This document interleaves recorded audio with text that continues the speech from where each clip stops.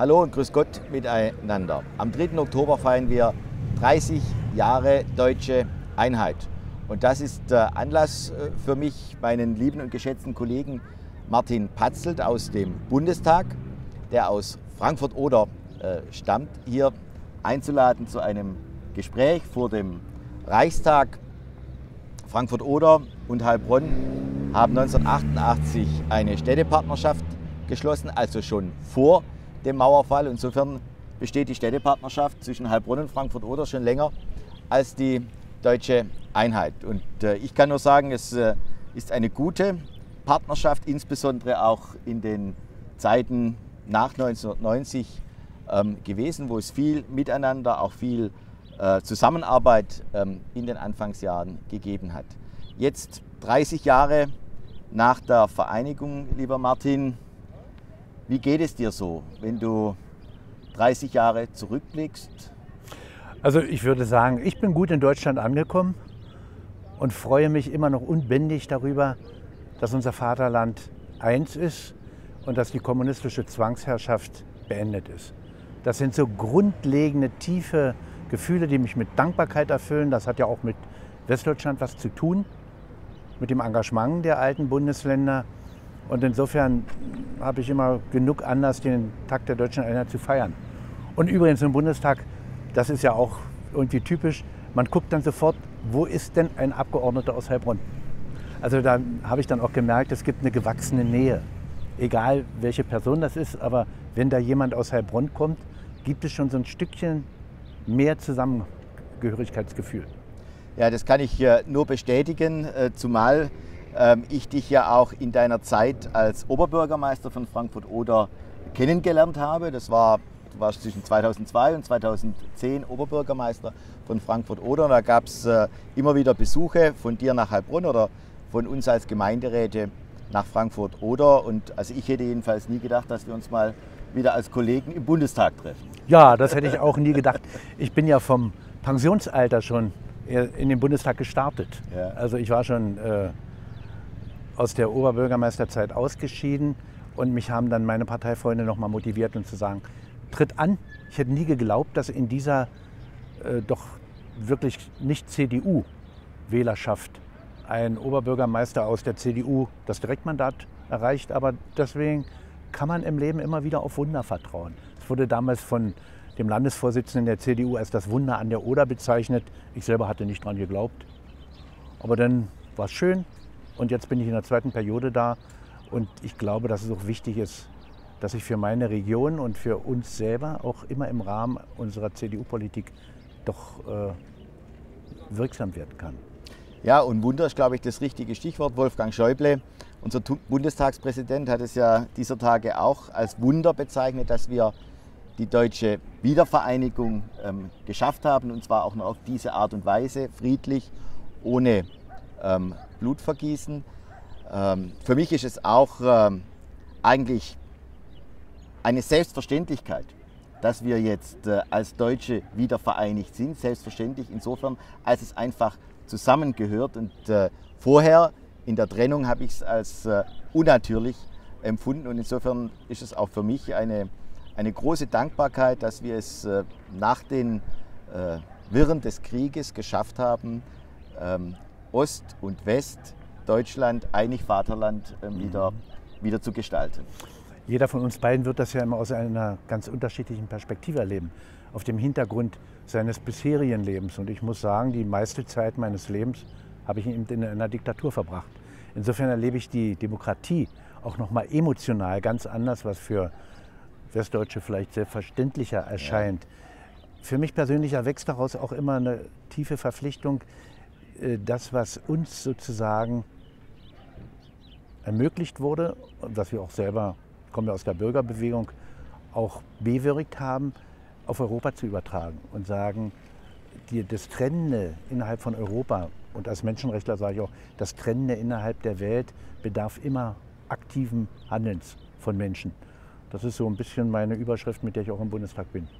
Ja, das merkt man auch äh, bei den Themen, die du hier äh, bearbeitest, insbesondere auch im Bereich ähm, der Menschenrechte. Und ja, ähm, ich glaube, das ist auch wichtig, wenn Menschen, die viele Jahre in einer Diktatur leben mussten, auch immer wieder darüber berichten. Uns, die wir von Geburt an äh, die Freiheitsrechte der Bundesrepublik äh, genießen durften und äh, manchmal auch der Eindruck entsteht, man würde sie nicht wirklich ähm, schätzen. Es ist schon ein Wert an sich, die Freiheit und die Demokratie, die wir ähm, in Deutschland jetzt haben.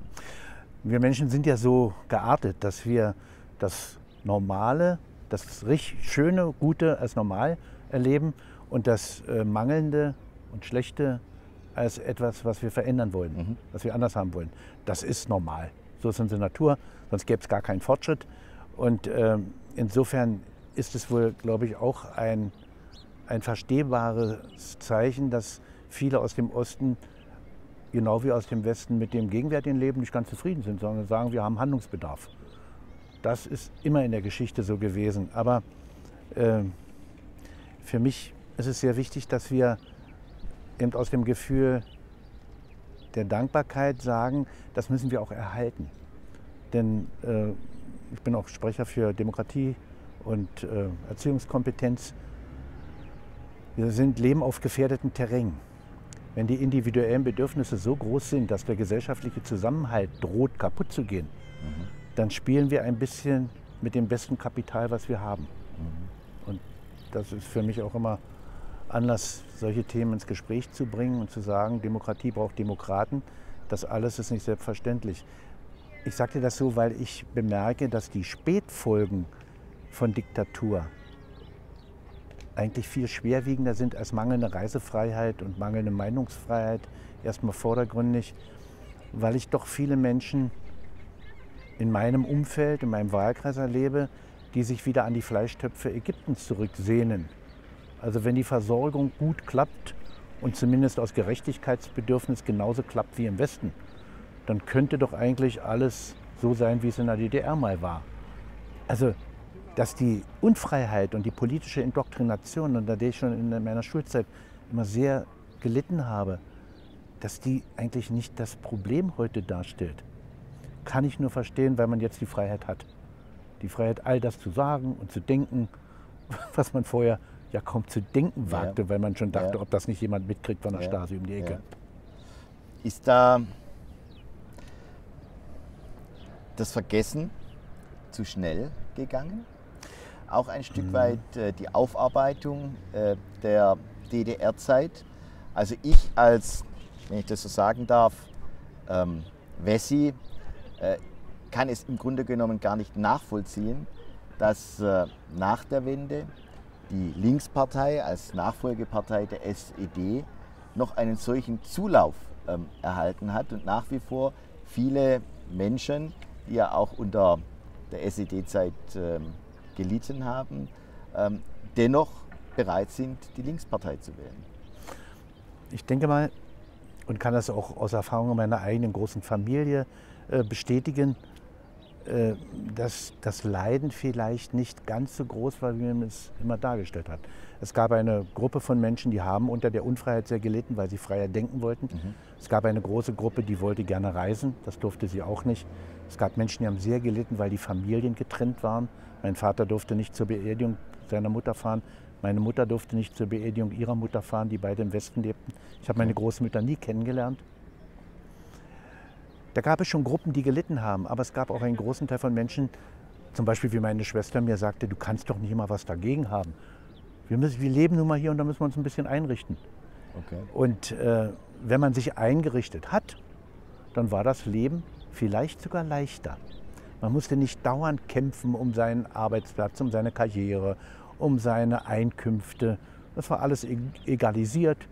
Die Einkommen lagen dicht beieinander. Arbeit war für alle da, welche auch immer. Mhm. Aber ich war versorgt. Ich habe das nochmal so gesagt, wir leben in einem Kindergarten mit schlechten Erziehungsmethoden. Und wenn man kindlich lebt, dann freut man sich, wenn die Eltern gut für einen sorgen und das alles schon machen. Äh, nur hatte ich das Bedürfnis, als Erwachsener zu leben und manche anderen auch. Und das gab dann auch meine kritische Haltung, die dann schließlich in der Bürgerbewegung auch landete in 89. 89, gutes Stichwort. Wie hast du denn den Mauerfall ganz persönlich, den Mauerfall erlebt? Wo warst du? ja. äh, am äh, Tag des Mauerfalls am 9. November 89. Und äh, wie ging es dir dann die Tage danach? Ja. Also man kann die deutsche Einheit und alles, was da passiert ist, am besten immer in Geschichten wiedergeben. Ja. Äh, weil sie ja immer im persönlichen Erleben auch so sind. Ich war in Thüringen, im Thüringer Wald, in einem Ferienheim der Caritas. Wir hatten, ich hatte ein Fernstudium, das über den Westen organisiert war. Okay. Und die Professoren kamen immer mit einem Urlaubsvisa in den Osten und wir haben Blockseminare gemacht. Also Zielstellung der Ausbildung war, dass ich Dozent an kirchlichen Ausbildungsstätten werde, weil die Alten, die noch da waren aus der Vormauerzeit, nur ins Rentenalter gingen und wir mussten die Stuhlen schließen oder brauchten Nachwuchs. Und das war der 9. November und wir tanzten über die Tische und freuten uns natürlich, war das alles eine selektive Gruppe, ja. die da versammelt war. Wir konnten es gar nicht begreifen. Das war unglaublich. Mich rührt das heute noch an, was da über uns kam. Und ich habe ja oft das Wort geprägt, so für mich und andere sagen es auch, wir waren trunken. Okay. Trunken vor Freude, trunken vor Überraschung. Wir wussten noch gar nicht, wo es hingeht. Und natürlich hatten wir den Westen aus der Ostperspektive vor Augen. Ja, so wollen wir leben. Ich war ein bisschen wissender, denn wenn ich die Westverwandten besucht habe, was ja dann schon möglich war, habe ich gefroren in der Wohnung, weil sie die Heizung immer schön runtergedreht haben, um Geld zu sparen. Da wurde auch sehr genau geguckt, wofür geben wir unser Geld aus. Das waren alles keine Ostgewohnheiten. Ja, okay. Wir haben mit dem wenigeren, aber doch ziemlich unberechnet gelebt, weil es lohnte sich nicht, große Anschaffungen zu machen, weil es gab ja vieles nicht. Mhm. Wir waren mehr darauf angewiesen, auf die Solidarität, auf die Tauschwirtschaft. Du hilfst mir, ich helfe dir. Und insofern haben sich viele Kategorien für uns völlig verändert. Das glaube ich, ja. Und äh, weiß nicht, kannst du dich erinnern, wann du das erste Mal in Heilbronn warst? Das war dann in der Zeit als Oberbürgermeister in 1900 und 94, war noch vier Jahre beim Ministerium beschäftigt, ja. äh, wollte dann aber in die gestaltende Arbeit gehen. Also Ministerium war nichts für mich. Ich wollte frei sein auch und nicht durch Bürokratie ja. ständig gegängelt und durch Ober und Unter. Wie hieß das im Ministerium? Obersticht unter. Obersticht unter, genau. Naja, das hatte ich lange genug Alter, gelebt. Hatte ich lange genug Alter Beamtenspruch. Gelebt. Ja, und das hat sich verbunden mit meinen politischen ja. Erfahrungen raus. Ja. Und dann habe ich doch den Freisprung gewagt, acht Jahre beigeordneter in einer Region, die sehr links dominiert war. Also ja. meine Stadtverordnetenversammlung waren immer in der Mehrheit Linke. Aber die Leute haben mich gewählt, vielleicht weil ich aus Frankfurt kam, große Familie, sehr klar in der Ansprache, authentisch. Und nach acht Jahren, ich habe gerechnet, dann sind meine Kinder aus dem Studium, im Studium fertig. Ich brauche nicht so viel Geld, meine Frau ist der gleichen Meinung. Wir kriegen schon wieder eine Arbeit. Und deswegen habe ich mich da eingelassen. Dann bin ich nach Frankfurt zurück und von Frankfurt gleich nach Heilbronn gefahren. Ah ja. Um die Partnerschaft kennenzulernen, um die Protagonisten da kennenzulernen, den Oberbürgermeister. Und daraus hat sich wirklich eine intensive, ich würde mal sagen, Gesprächskultur auch entwickelt. Die Beziehungen bestanden ja schon zwischen den Menschen ich war auch der Meinung, wir brauchen nicht mehr so materielle Hilfen. Die haben wir über den offiziellen Transfer ja bekommen. Und wenn ich mal denke, ein Großteil der Gehälter meiner Abgeordneten, meiner Stadtverwaltung kam über die Transfermittel. Wir konnten es ja nie alleine erwirtschaften. Jetzt in dieser Situation dann noch zu hoffen, dass noch besondere Geschenke kommen, das hielt ich für, für mich für unehrenhaft. Aber der Dialog, warum macht ihr das so? Warum machen wir es so, was ist eigentlich anders an unserem Leben? Welche Erfahrungen bringen wir mit? Und das war mit dem Kollegen Himmelsbach insbesondere immer sehr gut. Wir haben tolle Gespräche geführt, auch mit Abgeordneten, auch bei denen zu Hause. Wir erinnern mich ans Weinfest. Wir waren immer erst sehr, sehr früh am Morgen dann zu Hause durch die vielen guten Gespräche. Und äh, ich glaube, das ist äh, ein Wert, der noch viel höher liegt als ein materieller Transfer. Mhm. Der Austausch von verschiedenen Lebenserfahrungen nach dem, ich bin ja frommer frommer Christ. Äh, Paulus sagt, prüfet alles, das Beste bewahret. Okay. Gut, und äh, in der Tat, äh, ich kann mich auch an viele äh, Reisen nach Frankfurt-Oder erinnern. Eine ist mir besonders in Erinnerung geblieben. Das war die Gründung der Dreierstädtepartnerschaft mit Slubice. Ja. Slubice über die Oder hinüber, eine polnische Stadt, ehemals Stadtteil ähm, von Frankfurt-Oder. Ich weiß, dass du da auch treibende Kraft warst die äh, drei Städte sozusagen äh, zusammenzubringen. Es war eine, eine tolle also, Begegnung und äh, auch ein schönes Fest dort. Ich habe mich, hab mich sehr gewundert erstmal und dann auch gefreut, dass Heilbronn diese Städtepartnerschaft mit Subice, mit der ehemaligen Frankfurter Vorstadt, Ja. so klar, ohne viel Diskussion auch aufgenommen hat. Und wir waren dann tatsächlich immer im, im Dreierpack. Genau. Himmelsbach, äh, dann Bodjacki, der polnische Kollege und ich. Und wir haben viele Fahrten dann auch mit den Polen zusammen im Bus nach Heilbronn unternommen. Ihr wart da und es gab immer Termine links und rechts der Oder. Genau. Äh, bis von Anfang bis Ende. Und für mich war es auch so wichtig aus der, aus der Wahrnehmung der Polen. Die Polen waren ja immer diejenigen in Europa, die hinten angestellt wurden, die dreimal geteilt wurden, die sich immer Minderwertigkeit fühlten. Und auf einmal waren sie gleichberechtigter Partner. Das war mir so wichtig. Deswegen habe ich mich gefreut, dass ihr die Polen aus der Westperspektive genauso behandelt wie uns. Und äh, übrigens, als ich dann meine Amtszeit beendet hatte, haben mich die Polen geehrt. Ich bin Ehrenbürger Stadt Subice und die Und Heilbronner auch. Die haben da habe ich gedacht, dann habe ich ja nicht verkehrt gemacht. Nein, absolut, das wollte ich jetzt gerade erwähnen. Die Stadt Heilbronn, der ehemalige Oberbürgermeister Himmelsbach, hat dann die goldene Münze der Stadt Ja. äh, an dich ähm, verliehen.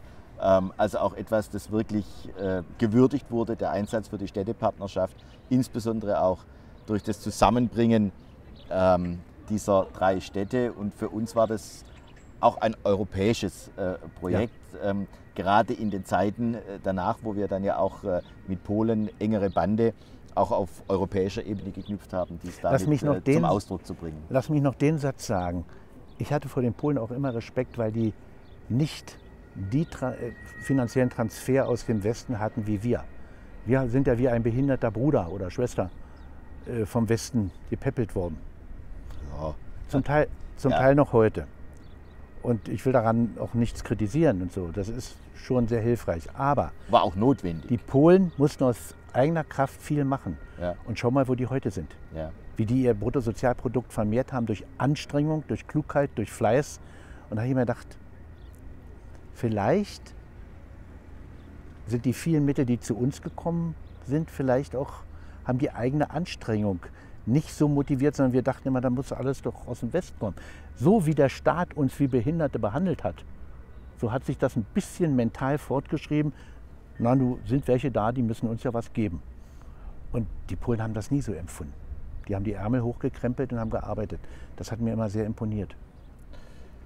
Absolut. Ich habe es aber auch, äh, mir hat es sehr imponiert, ähm, wie gerade auch äh, die Menschen aus den neuen Bundesländern damals ähm, ihr Schicksal in die Hand genommen haben. Jedenfalls viele davon und auch die neuen Freiheiten genutzt haben, persönlich für sich, sei es durch Reisen ähm, und anderes, aber auch in wirtschaftlicher Hinsicht, dass viele sich selbstständig gemacht haben oder einfach sich ähm, engagiert haben in, in sozialen oder politischen oder kirchlichen ähm, Bereichen. Also das hat mir schon auch imponiert und äh, für mich Aber- persönlich nochmal ähm, war es wirklich eine, eine Selbstverständlichkeit und das Natürlichste von der Welt, dass wir ähm, nach dem Glücksmoment der Wiedervereinigung dann auch gemeinsam den Aufbau gehen. Und jetzt, weil die Zeit sehr fortgeschritten ist, ähm, möchte ich noch eine Frage stellen zum Thema heute ist, beziehungsweise ähm,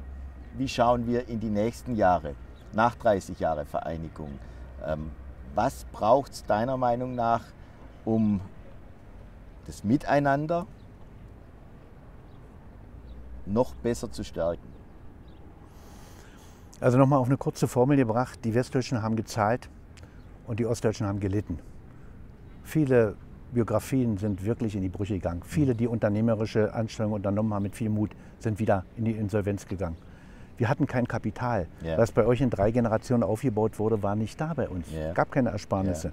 Ja. Und der Mut der Menschen und ihre, ihre Identität und das Gefühl, da kommen die Westdeutschen, die können sich alle besser artikulieren, die, die sind, fühlen sich sicherer, das hat schon viel Leid auch gebracht. Und Okay. dann hatten wir noch ein besonderes Problem, dass die Starken immer schon nach dem Westen weggegangen sind. Wenn wir heute mal reden, wer ist denn aus dem Westen was geworden und wer aus dem Osten, welche Stellen sind besetzt und nicht, dann frage ich immer lieber mal nach, wo kommst du denn eigentlich her? Und dann erstaunlicherweise man, stellt man fest, dass viele im Osten geboren sind und dann auf die Reise nach dem Westen gegangen sind und dort geblieben sind. Ich habe in Heilbronn mal drei Jugendliche getroffen, die haben mich angesprochen und haben gesagt, oh, Herr Oberbürgermeister, wir kommen auch aus Frankfurt. Dann habe ich gesagt, kommt zurück, wir haben jetzt Solarindustrie, wir haben Arbeitsstellen. Sagt er, wir kommen nicht zurück. Wir kommen nicht zurück. Ich sage, und warum nicht? Das Wetter ist besser, der Wein schmeckt besser und hier jammern uns nicht unsere Alten die Ohren voll. Und das ist ein Problem auf der Frage, was wir wollen. Wir müssen im Gespräch bleiben und wir müssen verstehen, die Lebensläufe der Menschen, wir müssen uns Geschichten erzählen. Das haben wir in diesem Format der Bundesregierung in Heilbronn sehr schön gemacht. Wir haben uns getroffen mal an einem Wochenende, hat die Bundeszentrale für politische Bildung ja. ausgerichtet. Da haben wir uns unsere Geschichten erzählt und ich bin ja mit dem Bus mit meinen Frankfurtern zurückgefahren. Das war eine so schöne und dankbare Stimmung, dass die Ostdeutschen, wir mal den Westdeutschen, den Heilbronnern, sagen konnten, wie ist es uns eigentlich ergangen. Ja, absolut. Das ist, glaube ich, auch ein gutes Schlusswort, dass wir im Gespräch bleiben. Wir sind es sowieso ähm, miteinander, aber auch äh, zwischen den Städten Frankfurt oder und Heilbronn, dass wir da das Band, das gewachsen ist, das vielleicht aber immer wieder auch der Erneuerung bedarf, dass wir dieses äh, pflegen und hegen. Ja. Äh, das wäre eigentlich äh, mein Wunsch. Und, äh, Ein schöner Wunsch ja. und ich würde das immer unterstützen. Zuhören, zuhören, verstehen ja. und sagen, wir zusammen sind Deutschland. Absolut. Das ist ein gutes Schlusswort. Wir zusammen sind Deutschland. Insofern herzlichen Dank fürs Zuschauen. Alles Gute und äh, trotz Corona mit den entsprechenden Rahmenbedingungen darf man am 3. Oktober 30 Jahre deutsche Einheit feiern. Alles Gute, tschüss. Das wünsche ich Ihnen auch allen. Und ich bin eigentlich so froh und sage, meine Stimme im Bundestag ist genauso viel wert wie seine Stimme. Ja, sowieso. tschüss.